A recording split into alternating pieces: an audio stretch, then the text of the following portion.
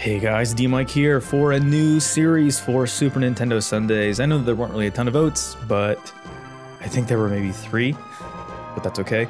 Um, enough of you voted that there was a majority that said they wanted to see something new instead of uh, just rolling along with the other two series. So we're going to do some Illusion of Gaia, 1994 Quintet Enix title.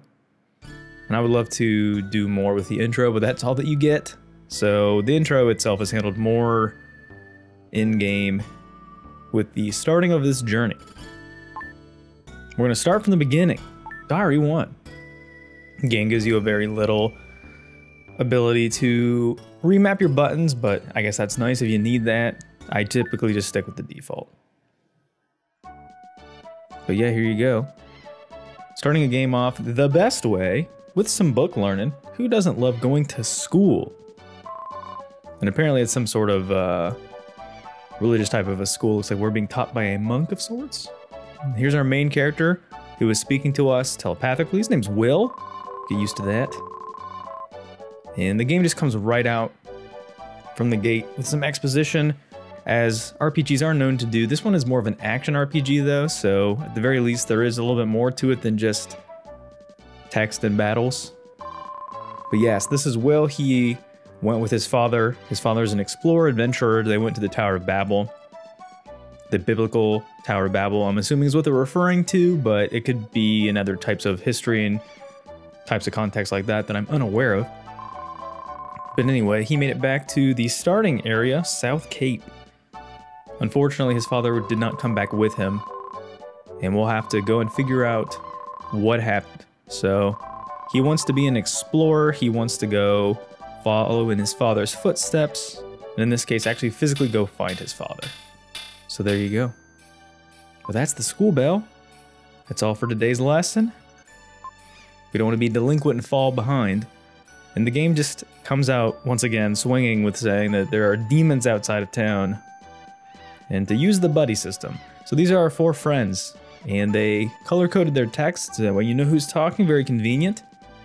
Seth is the one in purple, the nerd. Going to the usual place, you know, where the boys hang out, play hooky, get a little high. All right, here we go. Eric in the orange. He's gonna go home.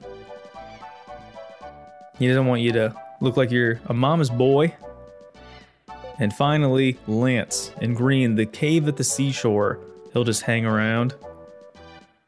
But yeah, here you go. You can go on top of the roof, which feels pretty unsafe. But this is one of the intro gimmicks that we'll be using a lot. This is the Gaia of mentioned from Illusion of Gaia. This is her. Oops, let's get through that.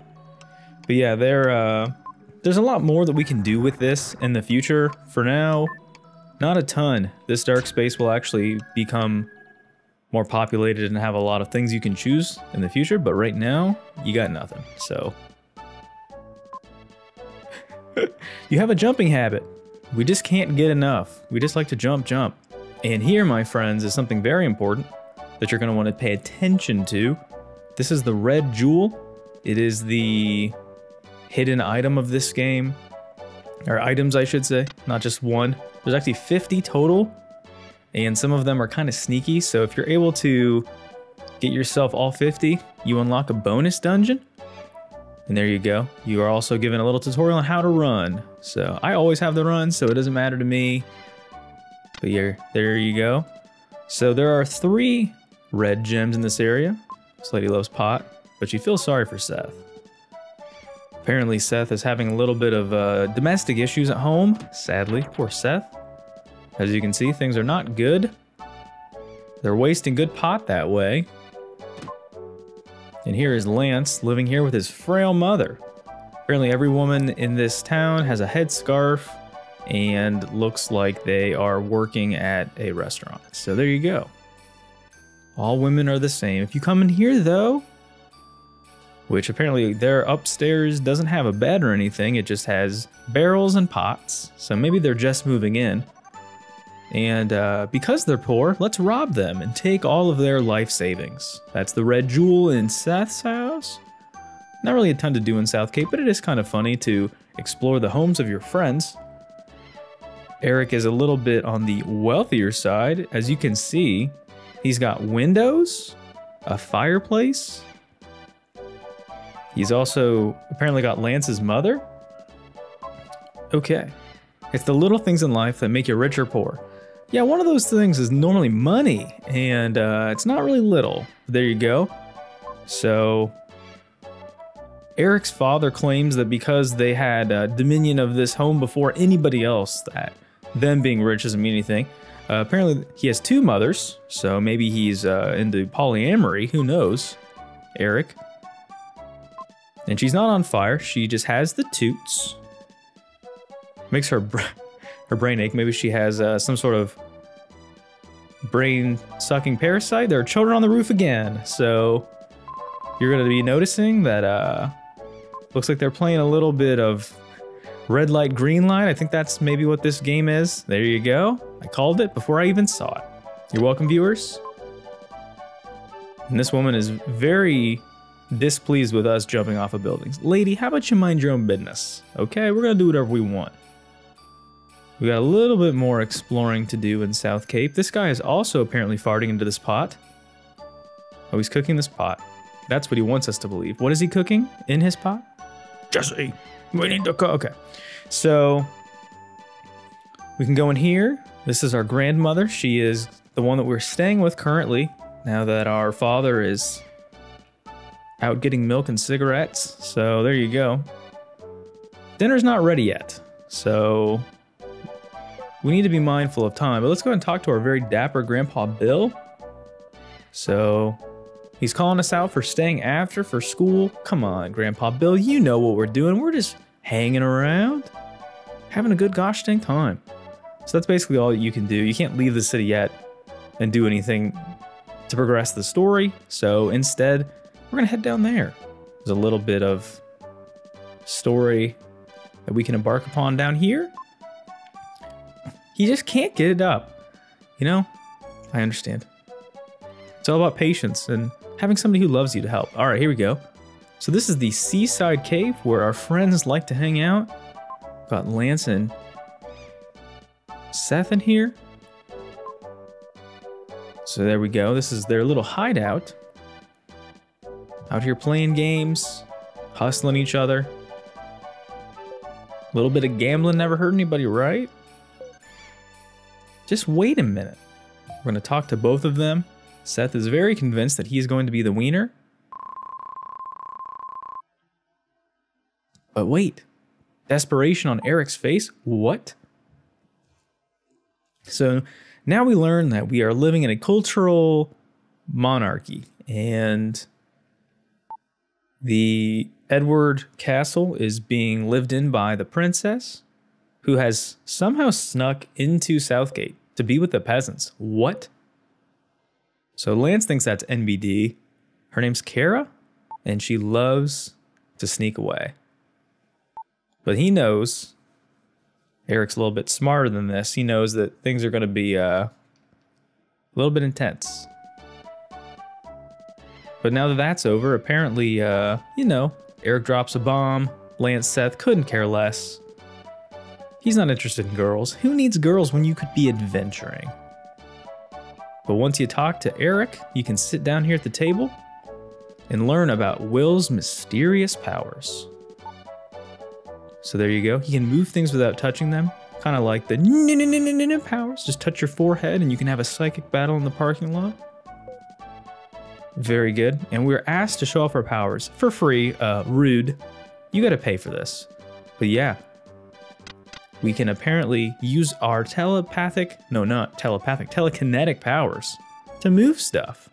That's going to be a pretty key element to puzzle solving in this game that isn't used in super creative ways, but it is what it is. But everybody else in our group is very jealous, peanut butter and jealous, in fact, that they're not able to do similar cool things. Unfortunately, these normal peons are just not quite psychologically inclined. Or psychically inclined.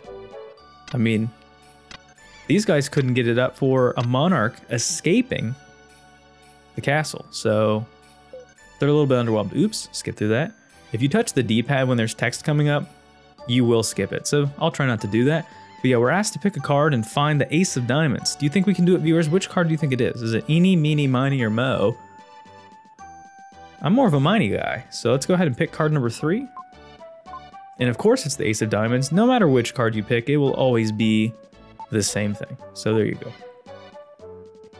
So they're convinced this is the beginnings of some sort of a psychic power. Seth, being the nerd of our group, confirms it, thinks that it's magic. So and this has actually been disproven. There are not five senses, they're closer to seven or eight. I don't know exactly what they are off the top of my head, but go and do your own research, not on YouTube. So there you go. So he's believing it's the sixth sense. Well, unfortunately, we're no Bruce Willis, so I couldn't tell you. But there you go. So they just want to keep playing games. Just one more game. There isn't really anything more interesting that happens in this area. But there is something interesting that happens at the outside. So once you leave, you can see that it's dark outside. And the fisherman that's all the way over here will move.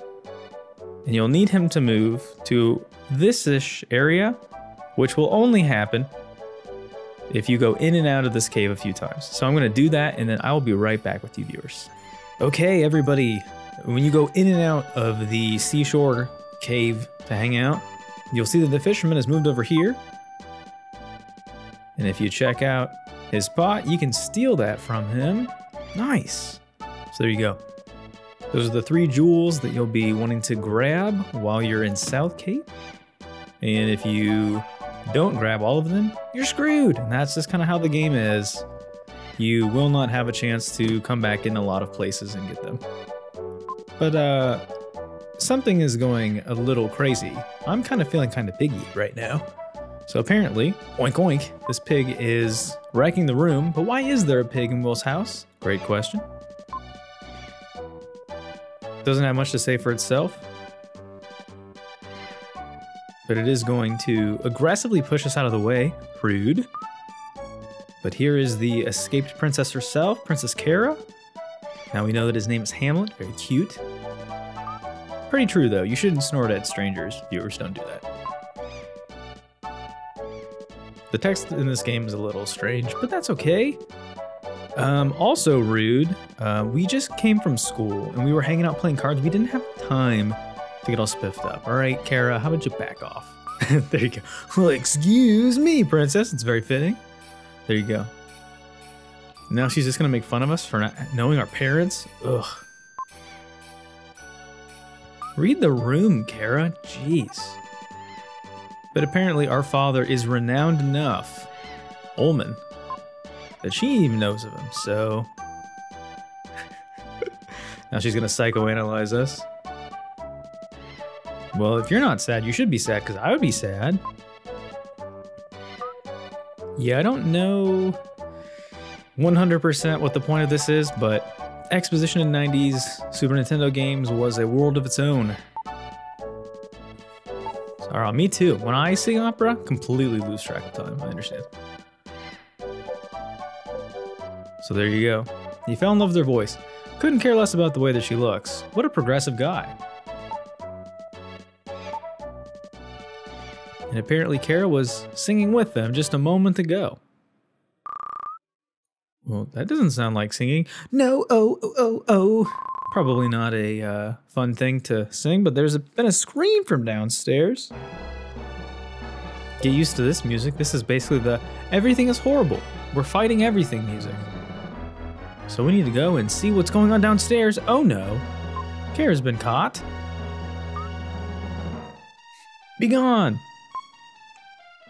So there you go. It's the royal guard coming back to bring Kara to the castle. Apparently has no regard for their safety and health at all. Does not understand she is a child. And so they will just aggressively drag her slowly backwards because they did not know how to animate sprites better than that back in the day. Okay. She played us for a fool. Kara, will you ever learn? Always trying to escape? And the music just fades.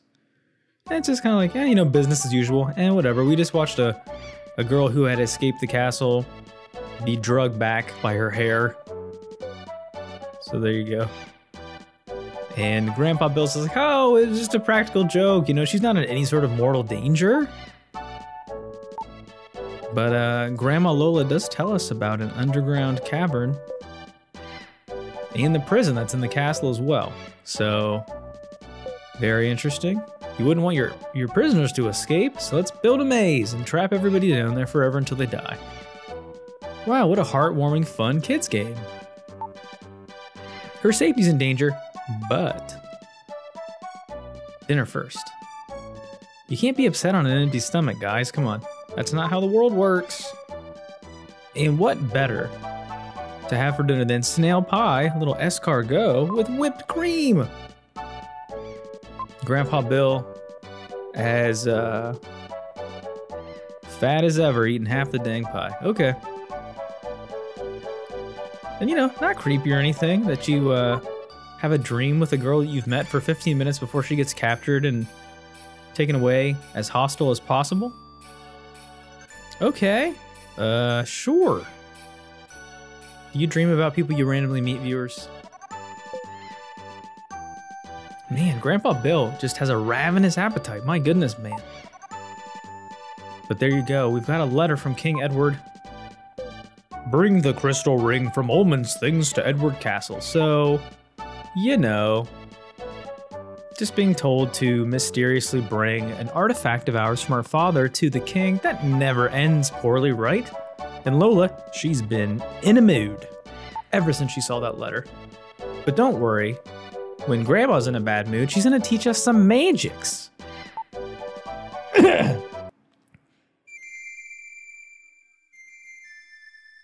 That's pretty, pretty lame. Ooh, got him. And uh, this is another kind of mechanic of the game. It's a little bit of um, leaning into the gimmick of music. Will is a skin flute player himself, so he knows now how to play Lola's melody. He's got his grandma's melody on his lips. Great, thanks, Grandma. But, uh, Okay, so Grandpa Bill, big appetite, also pervert. Great. But uh yeah, we apparently need to get some some ring to the king of the castle. He needs that to happen. We don't have it, so where are we gonna get it? Well, just be careful. You're probably going to get murdered, but. Alright. And that's what we will do next time. We'll go and check out Edward's castle, see about this whole ring business and progress the story. Thanks for watching, everybody. I've been DMic. This has been Illusion of Gaia. Thanks for checking out this brand new series on Super Nintendo Sundays, and I'll see you next time. Bye.